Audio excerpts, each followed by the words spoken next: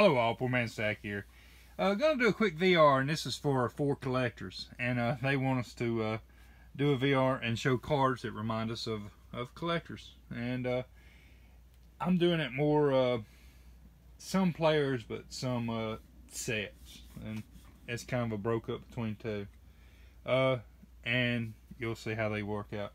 The first one is. Um, I could have done all the ones that I did. I did a VR last week for the All Stars, and every one of them you could you could do it. Like Don Mossi is Reindeer Studios, all that. I'm gonna try not to add any of them in that one, and give these uh, four separate shout outs for these.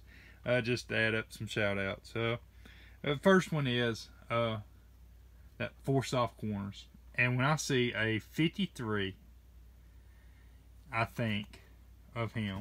He he's one of one of mine.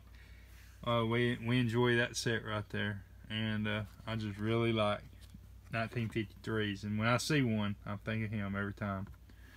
Um, my next one is gonna be uh, Adam's Card Closet, and when you think of him, you're gonna think of Chipper. You're gonna have a Chipper day, and you're gonna think of Chipper Jones. When I see Chipper Jones, first one I think of is Adam's card closet.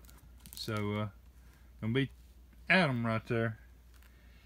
The uh, next one is gonna be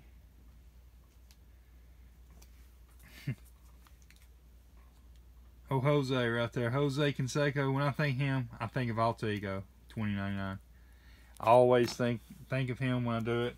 Uh, there's several other channels that collect Jose, but he's uh he's one of the ones that's the original one I can remember doing it. So uh, that's that's him when I think of it.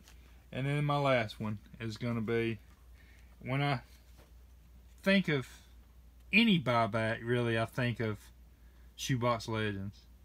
But really, when I see these 1990 buybacks, I think of Shoebox Legends.